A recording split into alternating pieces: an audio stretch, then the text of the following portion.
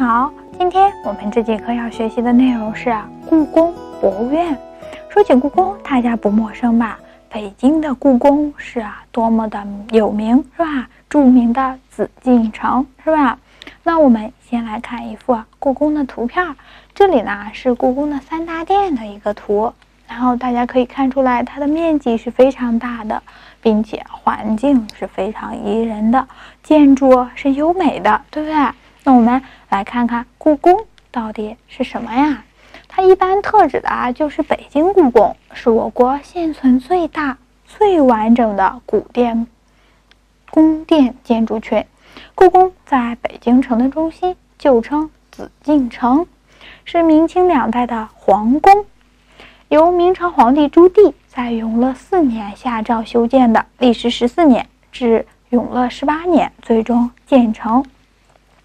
明清两代啊，这里始终是中国的政治中心。直到一九一一年辛亥革命推翻了清王朝的封建统治，紫禁城的历史啊才由此结束了。一九二五年，故宫博物院成立。一九六一年，国务院批准把故宫定为重点文物保护单位。一九八七年，被列为了世界文化遗产名录。也就是说，故宫。的地位是非常高的，我们也是啊，值得一看的。所以，我们有机会的话，可以去看一看故宫。那我们首先先看这篇课文是怎么带着我们去看故宫的。好，我们今天进入，先看看关于故宫这个。博物院介绍的时候会遇到哪些字词？然后再一起跟着这篇课文去认识认识故宫博物院。好，首先迥然不同，迥然相差很远的样子，形容差别很大，很不相同，是吧？完全不一样。第二个井然有序，指的是有条理、有秩序的样子，是不是非常的有顺序呀？一点都不混乱。好，我们继续往下看，这个词“龙凤呈祥”，它这个龙啊和凤啊都是代表祥瑞的动物，其实就是指的某种事呀或者某一个情况，给人一种吉利喜悦的感觉，也就是一种非常好的寓意。那我们再来看一个叫“藤台”，叫做“亭台楼阁”。亭指的是亭子，阁指的是阁楼，主要指的就是啊园林景观，这些都是我们在这个故宫博物馆都能看到的。那我们认识完这几个词之后，我们就一起来看看故宫博物院到底是什么吧。首先，我们通过默读课文，我们说一说材料一到材料四分别讲了哪些内容。好，材料一是按照。空间顺序详略得当的介绍了故宫的建筑及其布局供应，从不同的方面印证了故宫建筑群规模宏大、建筑精美、布局统一的这个特点，高度赞扬了我国古代建筑艺术的精美和劳动人民的智慧，是吧？这个就是我们的故宫博物院介绍的第一部分，是吧？主要是。介绍了建筑，对不对？我们看材料二，主要讲解太和殿因大火而在十八年里始终是废墟一片，直至康熙三十四年才得以重建。良久依照对比例，直至康熙三十四年才得以重建。良久依靠对比例为一比十的木模型组件的放大制作，完成了太和殿的结构搭建。康熙三十六年，太和殿才落成，是吧？第二个材料主要讲的是太和殿。材料三主要讲故宫是全国重点文物保护单位，一九八七年被联合国教科文组织列入了世界文化遗产名录。以及二零一一年七月二日起，故宫博物院实行自南向北单向参观的方案，是吧？这个参观方案也有所更改了。这主要是材料三的介绍内容。那材料四其实和材料三是一样的。它主要讲的也就是故宫被列入了全国重点文物保护单位，以及它这个参观的这个方案图。只不过材料三它写的是一个像通知一样的，然后材料四是列了一个这种地图，主要显示的是这个参观的方案，并且还列出了一些已经开放的区域和未开放的区域。这材料三和四其实是一个现在的这种参观情况和故宫的这种评价的一个概述，那就是这四则材料告诉我们的主要内容。那作者抓抓住了故宫博物院哪些特征来进行描写的呢？首先是啊，描写它的规模宏大壮丽，然后又描写它的建筑精美以及它的。布局统一，对吧？主要抓了这些特点来描写故宫博物院的。好，既然作者是通过三大方面来描写我们故宫博物院的特征的，我们来看看每一个方面又描写了什么。首先，从它的规模宏大壮丽，是描写了紫禁城的城墙。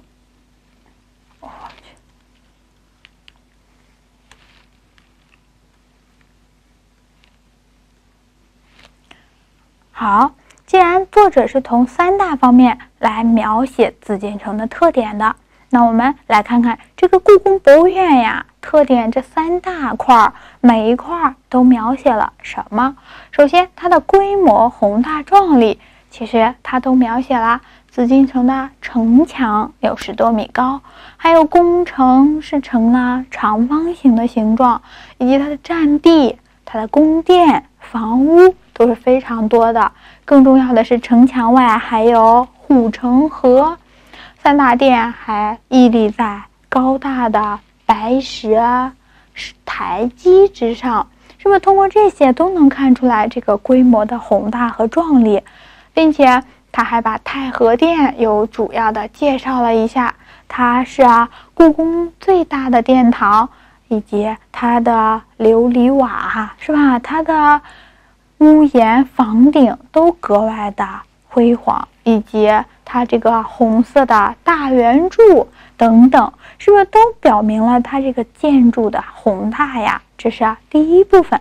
那第二大块就是写了建筑的精美，它精美的是什么呀？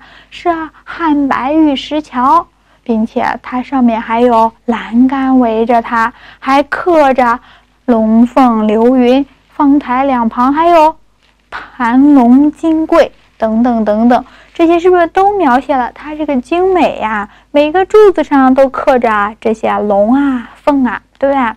并且它还看得出来，这个殿顶上呀也有一个大型的这个龙的图形，是吧？而且两坊间还色彩绚丽，有各种样子的龙。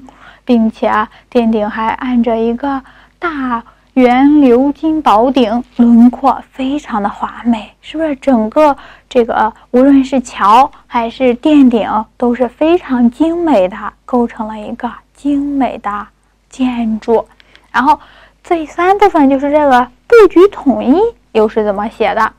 首先呢，他说的是啊，它有四座城门。城墙的四角之上又有角楼，对吧？三大殿建筑都是在中轴线上，紫禁城前后两大建筑群基本一样，是不是就是说它们布局非常的统一啊？是啊，对称的，而且啊，他们这个建筑的时候都要放在中轴线上，把这些关键建筑，对吧？都体现了它这种布局统一。还有就是。我们继续阅读材料三的时候，发现参观时呀，要由南向北这样的空间顺序去参观。那我们能不能看一看这个顺序是什么呀？从天安门到端门、午门、汉白玉桥、太和门，进入三大殿，然后是小广场，然后前朝、内廷、御花园。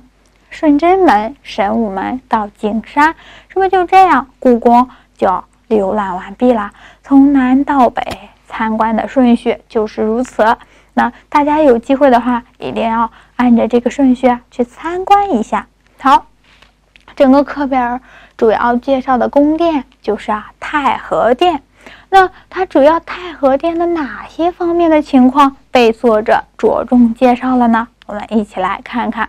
首先，它的台基修建的很高，是吧？并且设施奇巧，连排水管道是一千多个圆雕龙头，是不是也从此暗示和渲染了三大殿的地位之尊崇啊？是吧？通过台基。